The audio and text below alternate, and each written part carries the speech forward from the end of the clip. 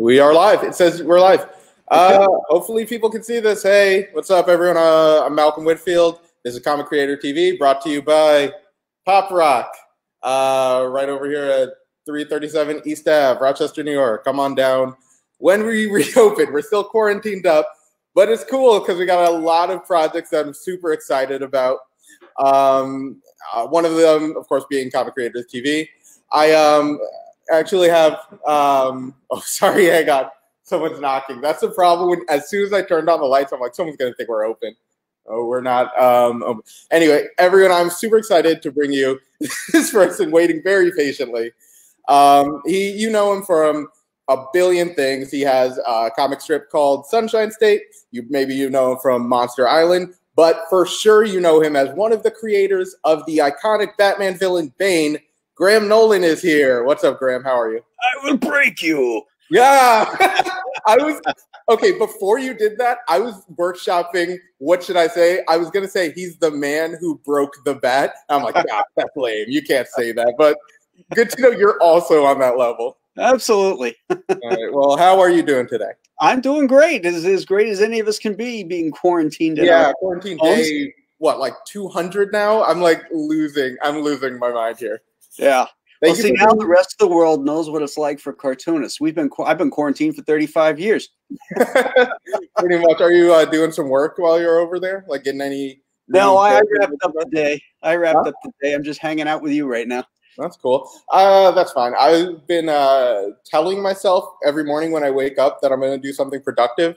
And then every night I'm just like reading articles that's like, it's okay if you didn't do anything today. And I'm just like, yeah, you're right. The internet, go back to sleep, start it all over.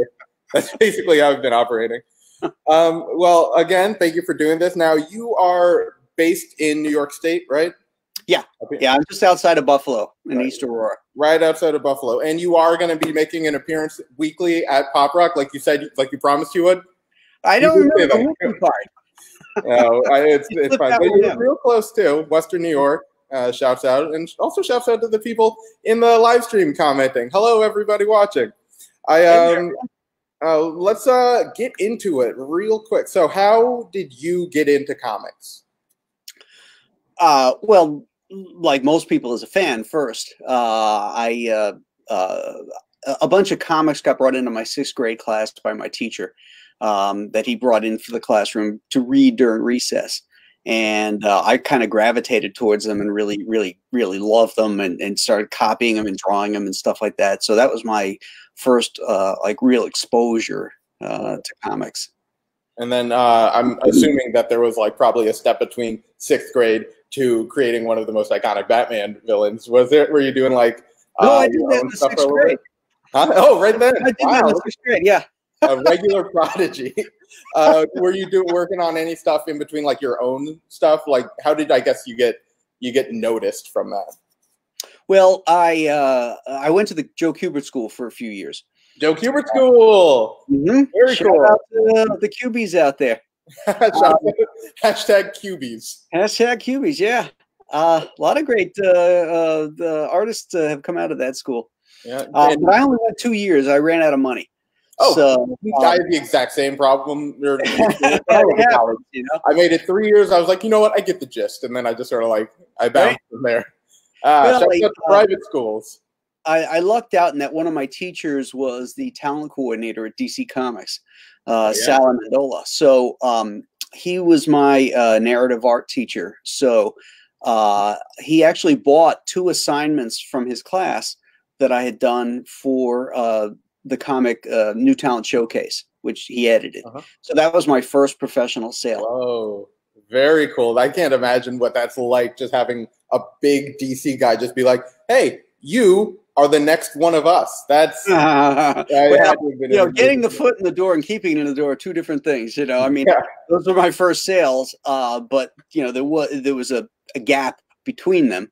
Uh, Yeah. I, I worked in advertising to pay the bills, um, and then uh, I lived just outside of New York City at the time, so that I could go into the uh, editorial offices uh, and uh, see editors every week, show them new stuff, and just basically get my face out there and, selling and yourself, make a connection. Just like selling yourself, I want to say it's more like what you're doing. Well, part of it is. I mean, part of it's relationships. You know, uh, the artwork, you know, obviously has to speak for itself. But you know, if you're a jerk, you know, yeah. an editor's not likely to to uh, to give you a a job. You know, of course, yeah. those days are gone. You can't do that anymore. Well, yeah, um, now you can just be a jerk and do whatever. well, what I meant you can't go up to the offices. Well, yeah, I mean, physically, no, not right now. Uh, that's not something you could do. It's is it's probably a different world now. So, um, is that one of the major differences? I guess you've seen between like when you started and uh, where we are now in comics. Yeah, you could call an editor up uh, and and say, hey, you know, I'd like to come in. They would say yes, and then once you're in the door, you could bounce around to different editors' offices and peek your head in, introduce yourself, and stuff like that. Um, after 9/11, you couldn't even get up the elevator unless somebody came down to get you. Yeah, security um, beefed up. Yeah, it, across the board in every industry. Yeah. I can imagine. So now everybody, you know, makes these relationships either at conventions or over the internet. You know, that's how I, they. That's how I would they probably say over the internet probably one of the bigger ones, just from seeing something like, hey, this person does a lot of cool fan art of this character. Maybe mm-hmm. that'll like get them in the direction of. Yeah. Yeah.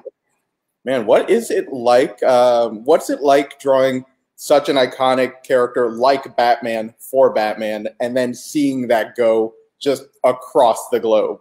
What was I guess that feeling like? Because your Batman is like kind of one of the more iconic ones. You have the real long ears. Something I uh, yeah, Kelly Jones had the long ears. I yeah. I had the I had the uh, traditional. Uh, uh, I want to say uh, Bob Kane or uh, um, uh, Don Newton years. You know. Yeah, yeah. Keep it keep it like original like that. Man, what's that feeling like? You know, when you see that. Uh, like when I first started drawing Batman and seeing it printed. Oh yeah, of course. Yeah, it was it was uh, unbelievably exciting, um, because I always wanted to draw Batman from the time I was a kid watching the Adam West TV show when it came out. You know, um, that was Batman to me. You know, and then getting into the Denny O'Neil and Jim Aparo and uh, Neal Adams stuff. Um, you know, I was Can just, I you, just love the character. Like, I was like so late to the Adams to the Adam West uh, Batman, and I know I you know I because I grew up like 90s 2000s and all that stuff I totally knew about and knew it was like a goofy one, but I did not understand how great that show was until recently. Oh, right? Oh, I, I, was just watching them last week. Uh, I have them uh, on Vudu, and yeah. I was watching a bunch of the episodes. That first season is amazing. Mm-hmm. Uh, that's what I've, I've been like, just streaming all sort of. I already did my Marvel movies rewatch. I did. I'm going through all of the DC, especially with the uh, DC Universe channel, going mm-hmm. through all the cartoons and all that as well. So basically, it's just I'm almost out of everything I learned in high school and college in filling up my brain with just pop culture stuff. like basically, it's just trivia at this point. Um, let's see. I uh, do want to get back to Bane, which is, you know, I would say is some something of a calling card for you. What sure. now? The process of creating Bane, uh, which came first? Was it the were you working with the author? Um, it was Chuck Chuck Dixon mm-hmm. you were working with. Were you working with him on that? Did he give you information and you were interpreting that, or yeah. did you come with your own?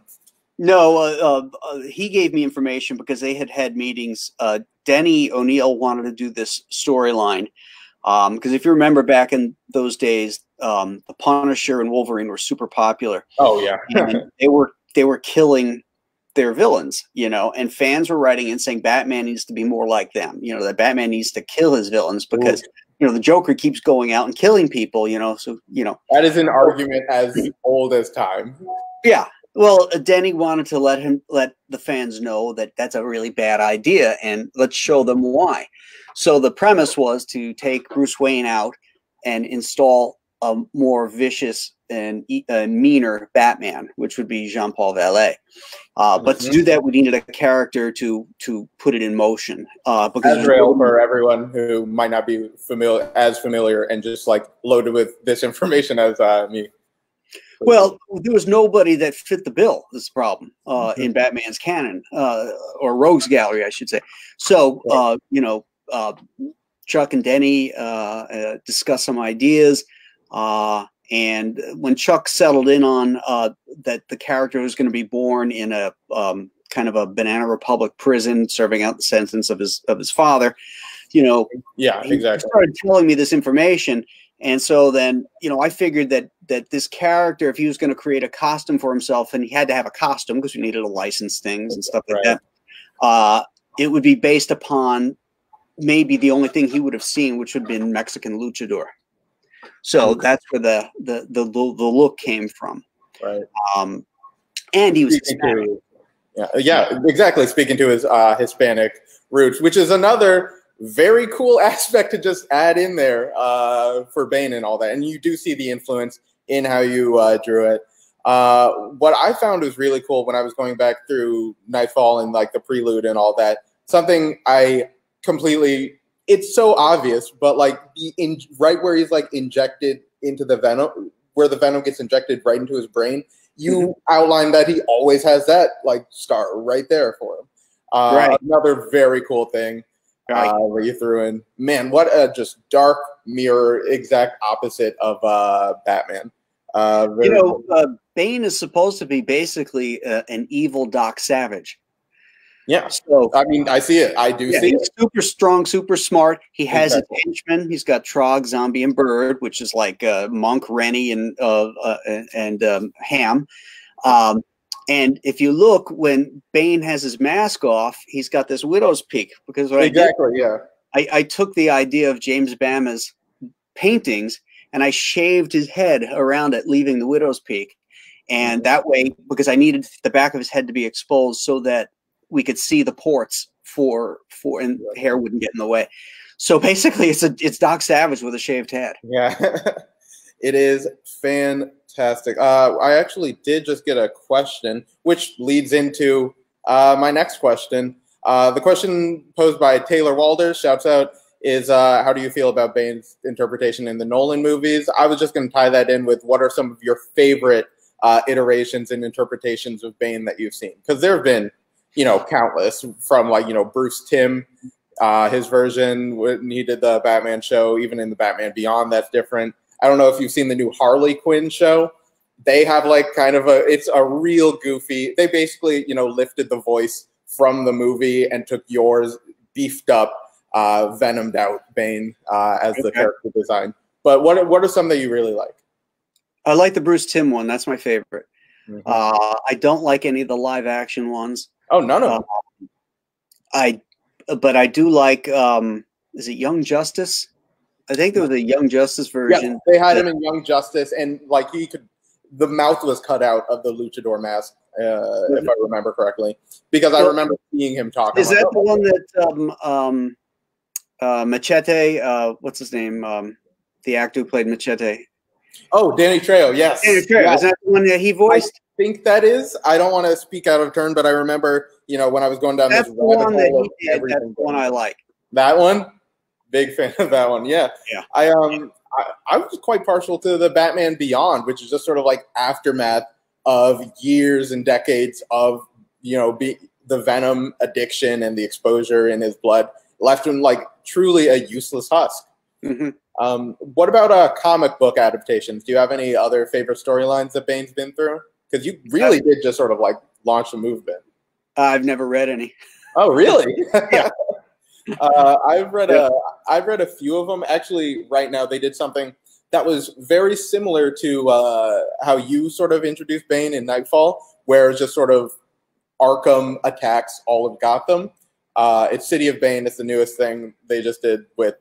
They brought back Tom, we, they brought back Thomas Wayne. It's it's a lot of it's a lot of goofy stuff, but that's. Uh, I saw some. Is that, is that the Tom King stuff? Yeah, yeah, exactly. Yeah, I, I, saw some of that. I, I didn't care for it. Oh yeah, really?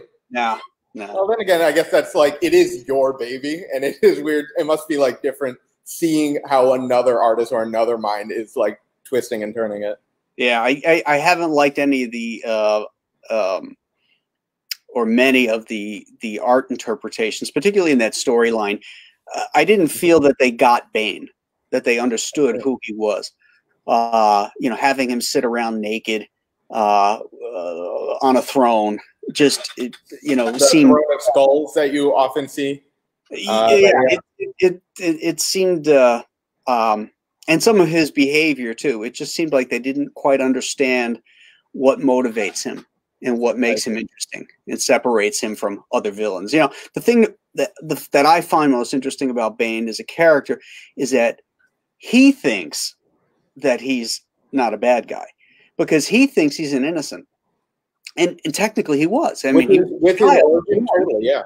To serve a prison sentence for something he never did, so he's molded into this horrific creature by the environment. And so when he does bad things, it's like he's getting his. You know, I'm getting back at the world. The world owes me. And I think that's a very powerful aspect of who this character is. So, speaking more to that, uh, the version that has been presented lately is a little less calculating and a little bit more manic uh, and sort of insane in the way that he's acting, and just more for power, uh, right. like overpowering other people. Whereas the vision that you gave us, he had a goal from a vision from when he was a child to find the bat and destroy him. Mm-hmm. And you know he is not manic; he's very calculating. Oh you know, yeah, sure. thing is is that you know he, you know, we did a scene in Bane, uh, Bane of the Demon where he's playing chess with Ra's al Ghul, and he's playing twenty chess games at the same time, mm-hmm. and half of them he's won. He's beaten Ra's al at. You know, so it just shows you he's such a tactician and such a thinker and planner. You know, just through that one visual image. Is what he did with all of that time. Meanwhile, in quarantine, I just bought a bass ukulele, which is, what some would argue, a more useless version of an already useless instrument. So, he, and you know, meanwhile, Bane's learning six languages and all that. Right. Uh, but, uh, yeah, but I uh, I digress.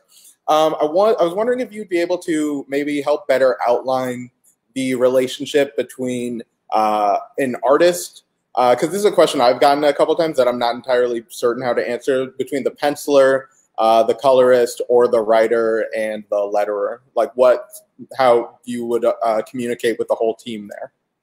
Uh, uh, I'm not sure I understand the question. Do you, you want me to, to differentiate the job? Well, just sort of, yeah, yeah, pretty much just what each role does and uh, where you were in the process of creating Bane. Like, I guess on is it if it's more like an assembly line or if it's back and forth if you're all in a room together. Uh, with creating Bane? Yeah, yeah. Well, with creating Bane and Knightfall. Okay. Well, those are two separate things. Um, with creating Bane, it's primarily you're dealing with editorial. You're dealing. Uh, uh, I'm dealing with the writer, uh, and I'm the artist and designer. So that's it. Okay. You know, uh, I take the information, I design it, they approve it, or they, or, or say ask for changes you know, like uh, when I designed Bane, I got him right on on the first drawing, 90, 98.9% was dead there on the first drawing. The things that were different was I had more wires going into his head, and the biggest change was the mask. Uh, the mask was basically a real luchador mask the same shape and the same design that was around it, only his eyes were open, his nose was open, and his mouth was open. And the reason for that was uh, if you ever wore a mask, like all of us are nowadays, you can't breathe in the damn things. I mean, I think we're all, as a people, learning that every day. Yeah, but imagine I'm kind of used to it, but uh, that's a pretty hefty one. Yeah. So, uh, you know, I was thinking in terms of reality and also uh, from my chores as an artist, I want to be able to have this character emote. So I felt that if I showed his his his mouth and his eyes, it would make him, you know, I, I could get a lot more emotion out of him. Uh, but that was a, a, an issue that DC disagreed with, and they an editorial decided, well, let's just cover up the the openings, you know. Uh, and I think it was probably, you know, was probably a good good decision uh, mm-hmm. because it's become iconic that way. Um, it, it, and the basic reason was they wanted him to be more mysterious. I see. Yeah, a, ma- a you know, masked mystery man type of thing. Yeah, it makes sense. It makes sense yeah. for what they were going for. Right. So, um, so to switch gears just a little bit, um, the your uh, webcomic Sunshine State uh, seems to be leaps and bounds away from the prisons of Santa Prisca and the you know gargoyles of Gotham. What? Right. tell me what that project is to you, uh, right now? Is it kind of like a rela- like a break from all the darkness and the monsters that you're usually working with? Uh yes. It uh, it's it's my favorite project to work on in my career. If, Yeah. if I could monetize that, you know, like Charles Schulz did, you know, and make millions of dollars doing a cartoon like that, a comic strip, I'd, I'd do it in a, in a heartbeat. I was Um, just going through it last night, just like hitting random on it, and Uh-huh. each one is just a fun little story. I'm just like, this is very silly. And like um, after immediately reading Knightfall too, it was just like, I think it was welcome. It was a welcome reprieve. it's also it's it's cathartic for me. Uh, I grew up in Florida. I live in Western New York now, uh, and so it's sort of like a way, particularly in the winter time. You know how it is up here. Uh, yes, gets it is cold. the worst. It's it's a it's a way for me to kind of uh, mentally uh, put myself in a warm place. Yeah. So Which- you know, it, it's it stretches totally different creative muscles, uh, and, and I, I just I just love it. Does it help with you know warm things up? It helps with my mind. it helps keep my my mind right. You know. I understand. I'm from the south too. I'm actually from Atlanta, and uh, I've been up here in Western New York and Central New York for like almost 20 years now, and my blood still has not adjusted. I still hate seeing the snow. I find no pleasure in looking, watching it gracefully fall. I hate every part of it. Uh, so yeah, I, I yearn for that. So maybe that's why I reacted as strongly as I did to Sunshine State. I Yeah. was like, this is what it should be about. Yeah. It's also a lot of fun because you know I, I make sh- it's not snarky, it's not political. You know, it, it, it's all about. Um, I wanted it to be the um, for the reader. I wanted it to be their vacation spot on the comic page. Right. You know, where you could go relax, just like you would if you were sitting at the beach with a with a with a cocktail and a warm breeze blowing on you. You know, that's the vibe I want to try and you know I think get. that is the vibe that you get. I have um I Excellent. do have a couple questions from uh, listeners and people writing in, I, uh, but also I want to get to my questions first. So sorry, everyone. We'll, we'll get right to that. Um, so I uh, also was able to find Monster Island uh, online and go through that. And in just your drawing and the shapes and the figures, I'm guessing you were way into like monster movies and stuff growing up. Is that was that fair to guess? Well, yes, because uh, the other aspect of how I got into comics was actually through monster magazines. Uh, before my teacher brought in those comics, I used to go to the the candy store and stuff and buy these monster magazines, like uh, the Monster Times, which was like a weekly newspaper of monster The movies. Monster Times. The Monster Times. It looked just like the logo for the New York Times, only had monster in it. And uh, it was newsprint, just like a newspaper. And you'd open it up every week, and there'd be stories in there about monster movies and comics. So that's where I first started seeing um, advertisements for comics and also articles on what was happening in comics during uh, this was the early 1970s, like 1972, I think. Um, so so to answer your question, yes, monsters came first. Uh, I saw my first monster movie when I was like, i can't remember if I was six or eight. It was Frankenstein meets the Wolfman. Scared the pants off me, and I loved them ever I, since. I don't know how you do it. I'm still just such a baby with any monster movie, any horror. I can't do it. Like comics and reading is one thing. I remember I was in college when I first read Walking Dead. I got a couple of those thick trades and I could not sleep. I'm here I am thinking I'm a grown adult and I still can't handle any of that nightmare stuff. Yet Knightfall is just fine for me. Yeah, okay. I'm cool with Bane and you know the horrors of Arkham. Big monstrous guy like Bane. Yeah. Now that is another very cool form. I think um, I'm sure people have said this all the time about like uh, the early '90s in comic book art, but it's all like big hulking muscle forms. Uh, did you take any inspiration from peers, or is that just like all you and your uh, influences with like monster stuff? Well, m- my Bane uh, is uh, different than a lot of people's. Like when people draw Bane, and I think it started with Kelly Jones on the covers, where he kind of exaggerated Bane to the point of looking like the Hulk. You know, where he's just you know over. Um, like a nine foot tall, just yeah, yeah, exactly, exactly. Whereas my Bane is is the biggest bodybuilder you'll ever meet. He's like still the upper limits of the human body. That, uh, Yeah. the human body. he's like in my mind he's like six foot six, three hundred and fifty pounds of just solid muscle. You know, he's Right. not Hulk proportions. I see. Yeah, he's not like an amygdala or like Grundy guy. He's Right. just right. He's just like a huge dude you don't want to run into in an alley. Yeah. I see. Exactly. All right. So I'm gonna actually. I do feel bad. I am actually gonna read some of the questions from uh, people watching right now. Uh, by the way, shouts out to everyone watching. I uh, this one just says, "I'm going to blow up Gotham Stadium." I don't think that's a question. Uh, what are uh, how has physical isolation influenced the process of creating comics and art for you? I think that's just more of a question specifically about these times. You mentioned earlier that like as an artist, you're pretty much Yeah, isolated. We're already physically isolated. That, that, that's the nature of the beast for us. Uh, so nothing has changed. Yeah, easy adjustment. Yeah. I guess. Yeah. I, I uh I know I'm someone who like I feel like thrives a little bit more if more people are around. So I decided, you know what, I'm gonna start making a comic. So I bought my little uh, Wacom Wacom tablet, and I'm sitting there, and I'm just sitting there, and I'm just sitting there, and 30 minutes goes by. I'm like, I think I, that was a lot of brain work I did today. So uh, isolation is uh, maybe not meant for everybody. Um, Nope. Maybe not. Let's see. What's the best official way to read Sunshine State, and what's it about? Says uh, one of our uh, followers right now.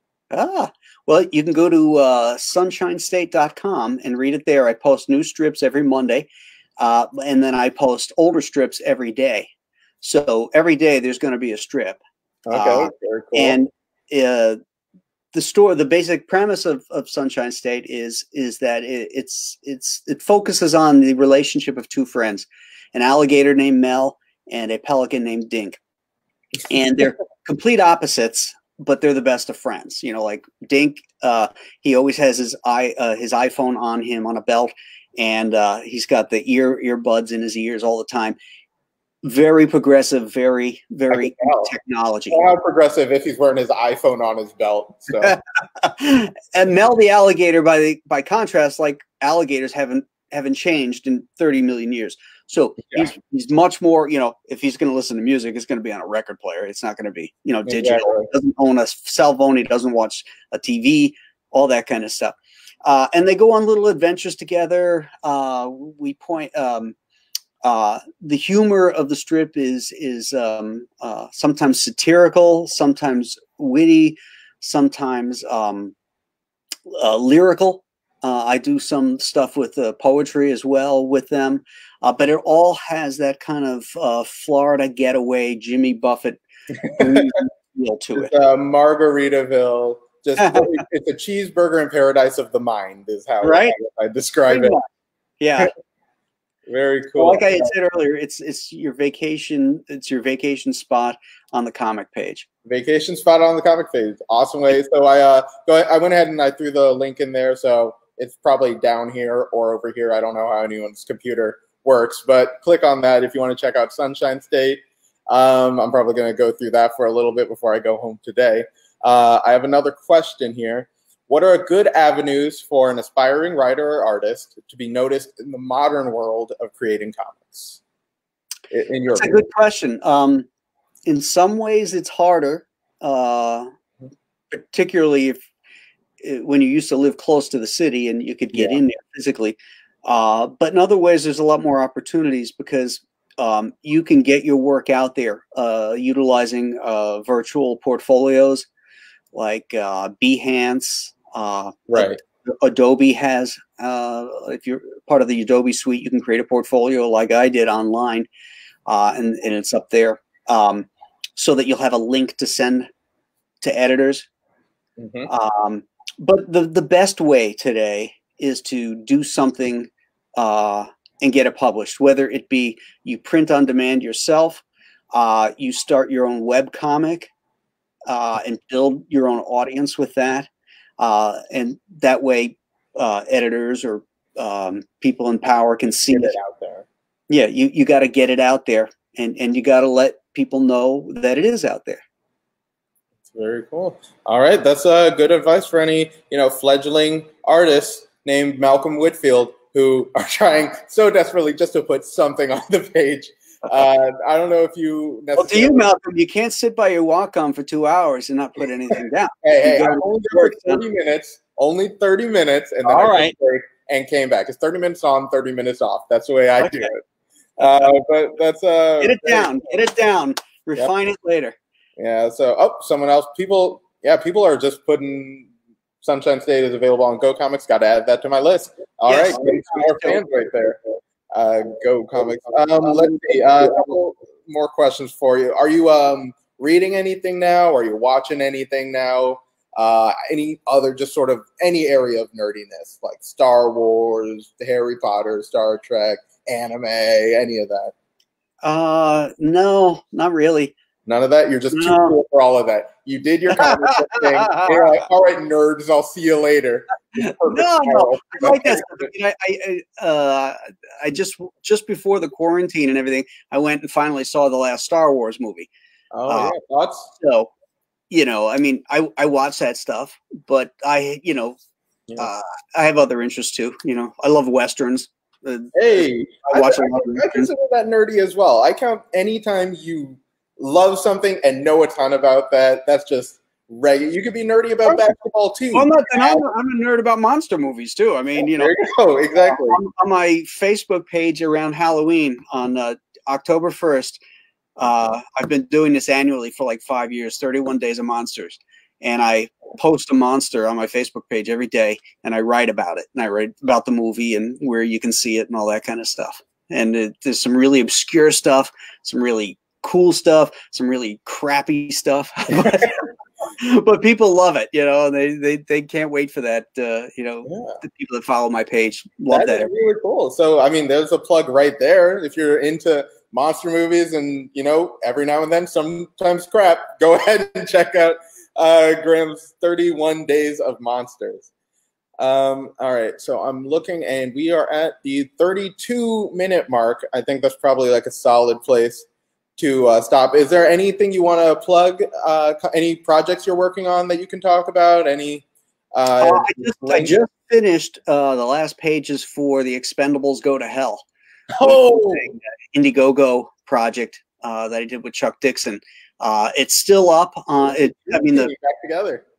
Yeah, uh, it's it's really it's really cool. And Sylvester Stallone plotted it with Chuck, uh, and it's it was basically the idea the Stallone had was like he wanted to do this movie, but he knew he could never get it done. Chuck is like, "Well, what is it?" And he goes, "Expendables go to hell," and it's it's crazy and and and Gonzo as you imagine it would be. I all of those words just got my heart racing because yeah. I love the Expendables. I love comics that are just like, oh, you thought we were done? Uh, oh, yeah. Ninja yeah. Turtles just did that. They had a Shredder in Hell thing too. It was, oh, okay. yeah. I will definitely be looking into that. Also, yeah, it's, on Indiegogo. Huh?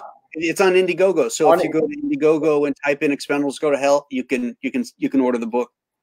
All right, there you go. Expendables go to hell on Indiegogo. Uh, one last question: Are you uh, open for commissions? I am. I am doing commissions right now.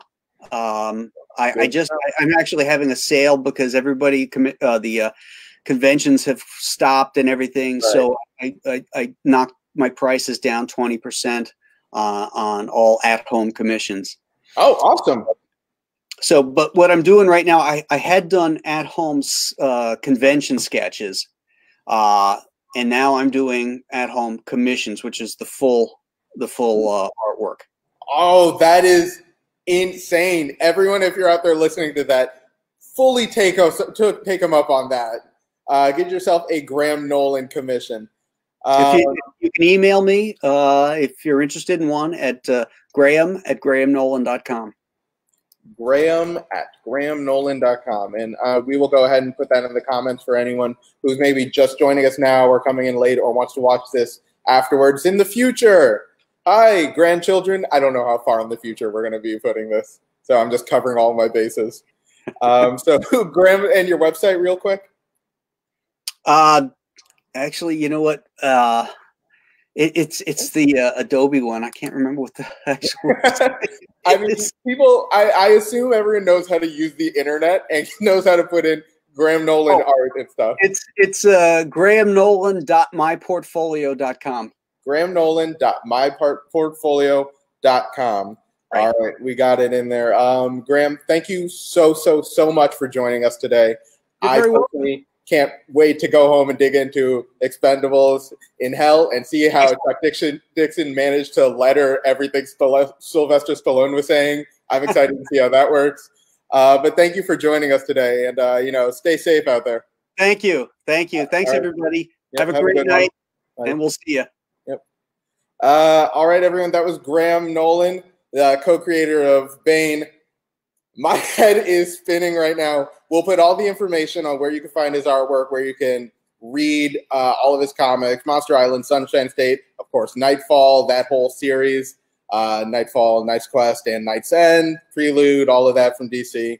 Uh, my name is Malcolm Whitfield. You can follow me at marvelous underscore Mal, uh, and also follow Pop Roc at Pop Roc Culture on Instagram, and just search Pop Roc uh, Cereal Bar and Comic Book Shop on Facebook. Um, I'm gonna get out of here now. I got a lot of reading to do. Thanks for tuning in, everyone. All right, bye.